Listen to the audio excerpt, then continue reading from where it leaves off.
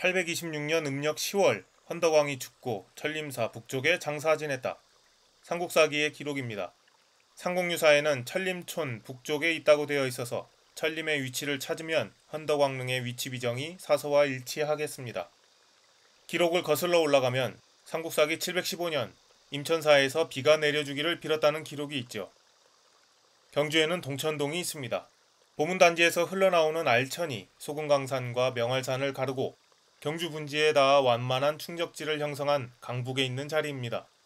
과거 항공사진을 보면 이곳에도 박리제의 방구획이 관찰되므로 이곳에 주거지가 있었다는 것을 확인할 수 있습니다. 신증 동국여지 승남에는 경주부 동쪽에 천림리가 있다고 쓰여 있죠. 그리고 강변에 폐사지가 발견되었습니다.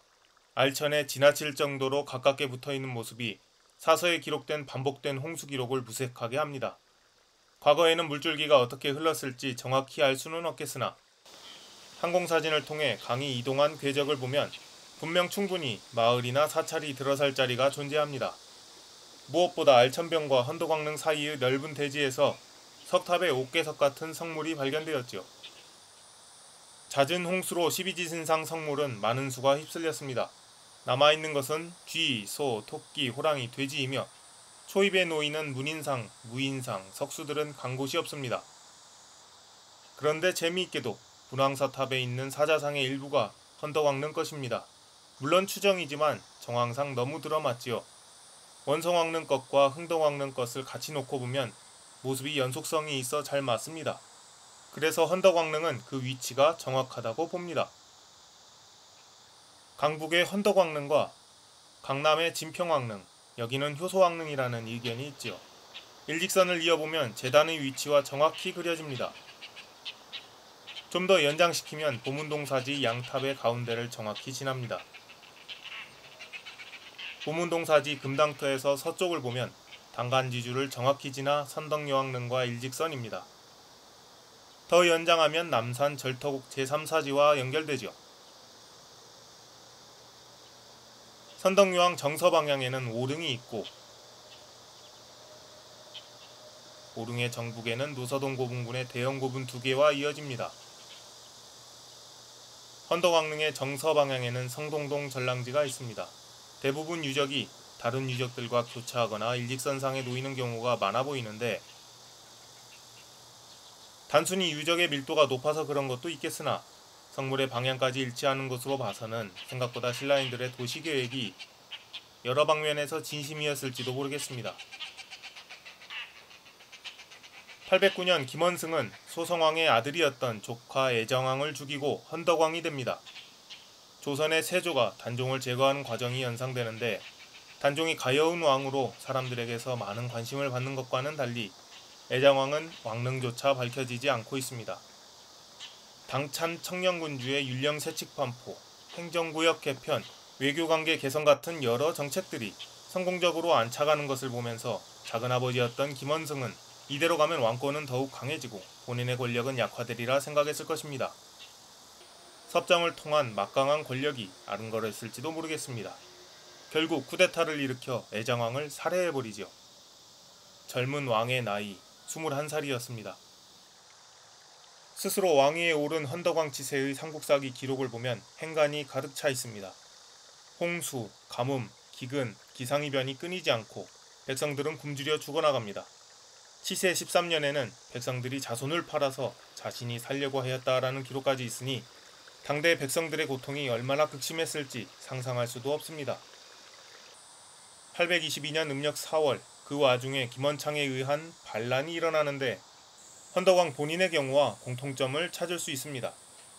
김원창도 무열왕의 반계로 왕위에 근접한 혈통이었고 따라서 애장왕 때 신라 정계에 강한 영향력을 행사하고 있었습니다.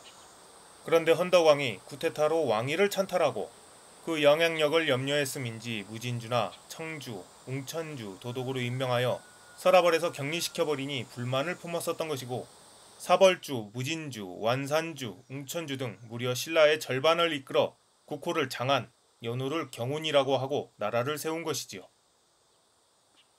헌덕왕은 즉시 장수 8명을 동원하여 수도방위를 우선한 다음 토벌군을 보냅니다. 이후 신라의 또 한 번 부는 피바람의 주역인 김균정, 김우징이 이때 장수로 나서지요. 신라군은 반란군에 대응해 계속 승리하는데 딱 한 번 함락당했다는 보은 3년 산성이 바로 이때 신라군에 의해 점령당하지요. 결국 김원창은 웅진성에 고립되고 폐색이 짙어져 빠져나갈 방법이 없자 자결합니다. 아들인 김범문이 825년 음력 1월 재차 반란을 일으키는데 도읍을 삼으려 종로구 일대를 공격하다가 패하여 죽습니다. 이후에도 지방 호족들의 저항적 움직임이 계속되지요. 헌덕왕의 쿠데타가 가져온 나비 효과가 누적되어 온 사회의 모순점들을 혼란의 모습으로 표면에 올라오게 만들었습니다. 물론 헌덕왕도 원성왕, 애장왕 때 상대 등, 병부령, 시중 등 주요 최고위 요직을 거쳐왔기 때문에 국사에 대한 감각이 아예 없던 인물은 아니었습니다. 고구려 영토였던 황해도와 평안도 지역의 행정구역을 개편하여 취산군, 토산현, 당학현, 송현현 등을 설치했었기 때문에 김원창은 한때 북방이 신라의 반기를 들지 않았던 것으로 해석되죠. 그러나 채 100년도 되지 않아 호족들의 군웅알거가 시작되고 개성에서 왕건이 나타납니다. 고구려 고토가 김원창과 같이 하지 않은 것은 고구려의 후손이었던 지역 호족들과 괴가 맞지 않아서라는 생각입니다. 조카를 죽이고 왕위에 오른 업보였는지 후사가 없었던 헌덕왕은 동생 김수종에게 왕위를 물려줍니다. 애장왕 시해에 김수종이 참여했다, 아니다 여러 의견이 있습니다만 이후 행동을 보면 형의 행동을 묵인하는 선에서 동조했지 않을까 합니다. 운명의 여신은 가혹하여 애장왕의 누이가 김수종의 부인이었습니다. 게다가 왕이 된 지 두 달 만에 운명을 달리하니 화병이 아닌가의 생각이 닿습니다. 기록에는 김수종, 즉 흥덕왕은 장화 부인을 마음 깊이 사랑하여 남은 평생 여자를 가까이 하지 않았다고 하지요. 흥덕왕은 장화 부인의 마음을 알아보고 속죄의 마음으로 여생을 보냈을 수도 있겠는 것이 백성들을 사랑하여 구휼하는 모습이 자주 등장하기 때문입니다.